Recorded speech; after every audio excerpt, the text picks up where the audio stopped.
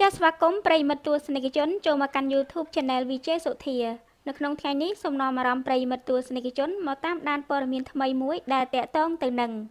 ទេបុព្រឹកដើរចេញពីហងមាសទាំងមានរឿងចម្រុងចម្រាស់តារាចម្រៀងទេបុព្រឹកបានចេញពីផលិតកម្មរស្មីហងមាសហើយនេះជាការទម្លាយរបស់អ្នកផលិតកម្មវិធីទូរទស្សន៍ហងមាសម្នាក់ប្រាប់នាយកសារព័ត៌មានកាលពីពេលថ្មីៗនេះ ដោយបុរសរូបនោះថែមទាំងអះអាងថា ទេបុព្រឹកមុននឹងដើរចេញ បានបន្សល់ទុកបទចម្រៀងអេឌីអូពីរបទដែលមិនទាន់ថត MV នៅឡើយ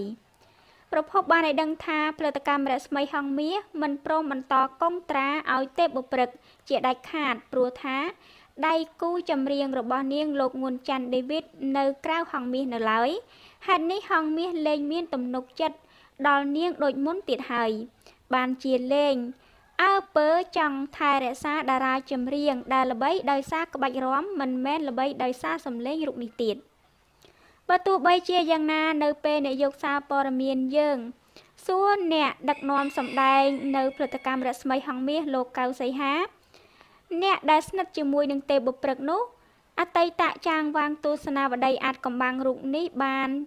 ច្រានចោលចំពោះដំណឹងទាំងនេះដោយអះអាងថាទេបុព្រឹកនៅតែ ជាអ្នកច្រៀងរបស់ហងមាសដដែលលោកកៅសីហាដែលមិនចង់ឲ្យដាក់ឈ្មោះចូលក្នុងសារព័ត៌មានអះអាងថា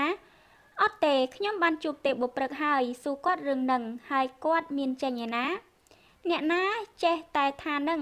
គ្នាច្រៀងនៅហងមាសទៅថត MV ថ្មីថ្មីនឹងសោះ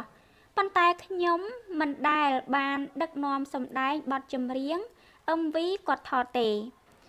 បើទោះបីជាលោកកៅសីហាបញ្ជាក់ច្បាស់ច្បាស់100%ថាទេបុព្រឹកនៅតែជាសមាជិករបស់ហងមាស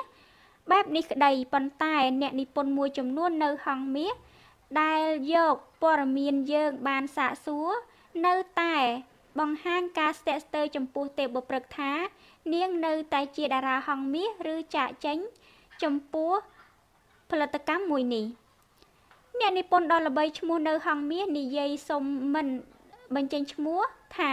វាពិបាកដែរតារាហងមាសឥឡូវមានច្រើនបើទោះបីជាអ្នកណាចេញក៏មិនដឹងដែរចំពោះទេពបុព្រឹកវិញដៃគូគាត់ដេវីតនៅខាងក្រៅហងមាសក៏មិនសូវទុកចិត្តគាត់ដូចមុនដែរបើតាមខ្ញុំយល់បើគាត់មិនចេញពេលហ្នឹងក៏គង់តែចេញនៅពេលខាងមុខដែរឬអាចនិយាយបានថាច្រៀងចាំថ្ងៃផុតកងត្រា លោកកៅសីហាបានបន្ថែមថាក្រៅពីនៅតែជាតារាចម្រៀងរបស់ផលិតកម្មរស្មីហងមាសនោះទេបុព្រឹកត្រូវបានហងមាសផ្ដល់សិទ្ធិធ្វើបទចម្រៀងដោយខ្លួនឯងបន្ថែមពីលើផលិតកម្មទម្លាក់ឲ្យទៀតផងប៉ុន្តែយ៉ាងណាចម្លើយរបស់លោកកៅសីហាគឺហាក់បញ្ច្រាស់គ្នាជាមួយនឹងការលើកឡើង ក្រុមការងារផ្សេងផ្សេងទៀតរបស់ហងមាសថាទេបុព្រឹក នឹងមិនអាចបន្តដំណើរជាមួយហងមាសបានយូរអង្វែងតទៅទៀតទេព្រោះតែផលិតកម្មមួយនេះដាច់ខាតមិនព្រមបន្តកុងត្រាឲ្យនាងទៀតឡើយការធ្លាយរឿងទេបុព្រឹកពីបង្វិចរត់ចេញពីផលិតកម្មរស្មីហងមាសនេះស្របពេលដែលការមកដល់របស់ស្រីស្អាតពេជ្រសូលីកាជាលើកទី2នៅហងមាសដែលធ្វើឲ្យតារាមួយចំនួន ជ្រួលច្របល់ព្រោះសូលីកា បើទោះបីជាប៉ះរឿងស្នេហ៍អាស្រូវយ៉ាងណាក៏នាងនៅតែជាតារា ដែលមានសម្រស់និងទឹកដមសម្លេង គួរឲ្យតាក់ទាញមិនចាញ់ទេពបុព្រឹកនិងរ៉េតស៊ូសាណាប៉ុន្មានឡើយដោយឡែកទេពបុព្រឹកដែលចាប់កំណើតនៅផលិតកម្ម TV Production និងរស្មីស្ទឹងសង្កែវិញបើពិតជាអស់អាឡ័យជាមួយនឹងហងមាសនោះ នាងនឹងសង្សារបណ្ដោយចិត្តងួនចាន់ដេវីតត្រូវផលិតតកម្មថោនបើកទ្វារស្វាគមន៍24ម៉ោង ប៉ុន្តែផលិតកម្ម Sunday វិញមិនបានបង្ហាញចំណាប់អារម្មណ៍ចំពោះទេពបុព្រឹកហៅស្រីនិចនេះឡើយចាប្រិយមិត្តទស្សនិកជនមតិពីរផ្សេងគ្នា រវាងក្រុមការងារនៅហងមាសនិងអ្នកដឹកនាំសម្ដែងលោកកៅសីហាដែលជាអ្នកដឹកនាំនៅក្នុងផលិតកម្មរស្មីហងមាសផ្ទាល់តែម្ដង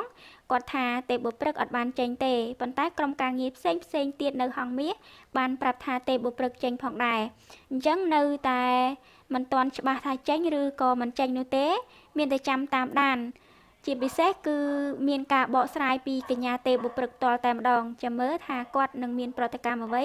ចាបន្ទាប់ពីលេចលឺព័ត៌មានដំណឹងថាគាត់ចេញឬមិនចេញនេះចាសម្រាប់ព័ត៌មាននេះក៏សូមបញ្ចប់អរគុណប្រិយមិត្តទស្សនិកជនដែលបានតាមដានកុំភ្លេចជួយចុច Subscribe និងចុចរូបកណ្ដឹងផងណាសូមអរគុណនិងសូមគោរពលា